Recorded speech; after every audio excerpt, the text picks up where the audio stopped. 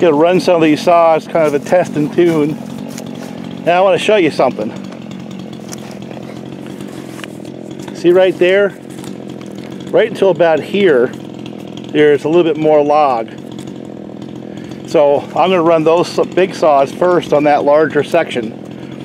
Now I'm just going to run these off. I'm not going to do a whole lot of chatting about them.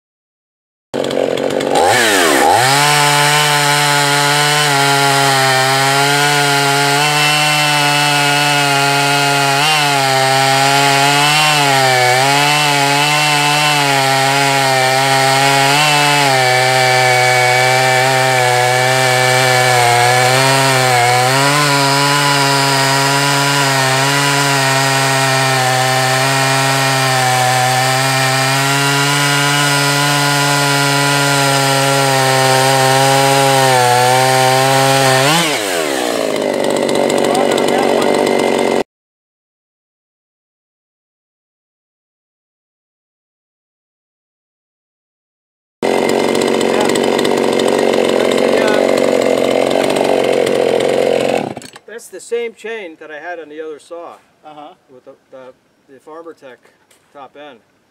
Totally different. I mean, that's not, you know, that's some break-in time on that probably. So that's a 44. Yeah, That was a 46. right. Now that one's stronger. It's either that or the chain's better one.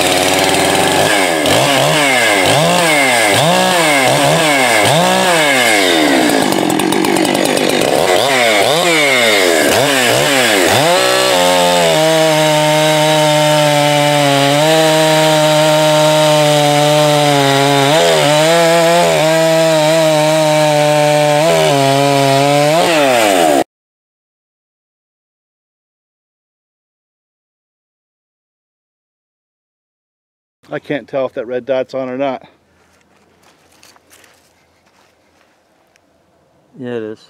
All right, I'm gonna run the 54 millimeter Chinese saw.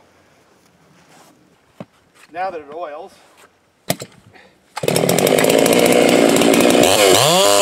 I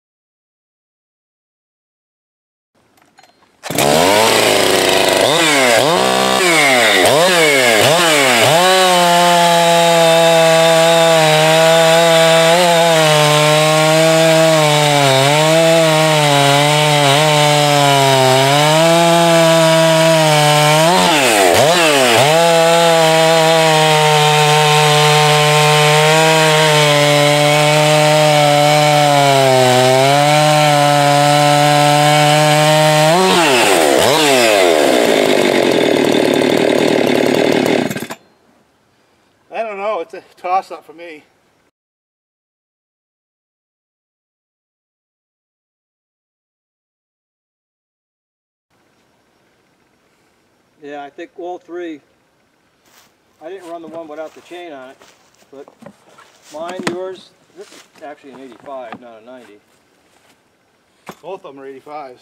Really. Yeah. They're supposed to have the better port timing for guys that, you know, Well, yours has got a tweak a little bit of a tweak, and no base gasket, right? and that one's got a base gasket, no tweak. Strong saws, you know. Yeah. All of them cut wood. It's kind of a whippy chain, but you want to try it, go ahead. Just to kind of, This is the, I think, the stronger of my two. You know. I think this one's quieter. I don't know if it's deceptive, but that one feels like it's got a little more snap to it. yeah. the $300 specials. $300 specials. Before you start that, it's worth noting that uh, neither of these 55s that you're about to run necessarily have a chain that you would choose. No, that's true. I mean, this has got the Vanguard chain on it, and that's got some semi-chisel oddball chain. Well, that's the other point is also the both the chains on those two saws. That Forester was the one I ran on that 281 for a while. Yeah. And then the one on the Hudzel's got a few tanks on it too. Plus it was the same bar and chain I ran the tests and all the other ones.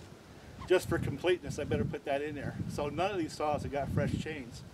And we say this over and over again, and it's worth saying again. When you see this stuff, it's not about one saw being faster. These are ballparks. You get an idea what a 90cc saw should run. And if they're all within 10%, they're all running good, you know, because chain can make the difference. None of them are fresh chains. Yeah, and what we got in these 255s, I mean, you'd be hard hard pressed to go in, into a bar without throwing more money across the bar. To, Yep.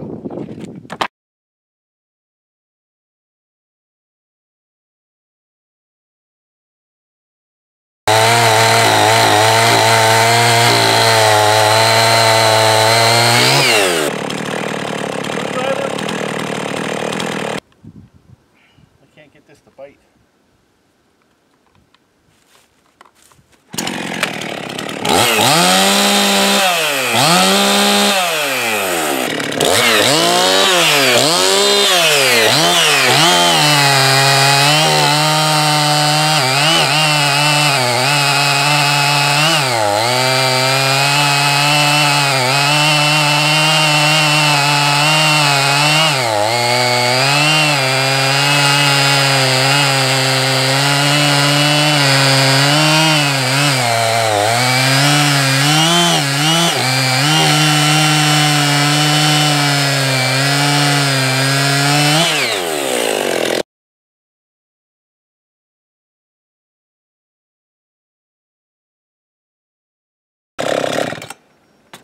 That's a huge difference right there.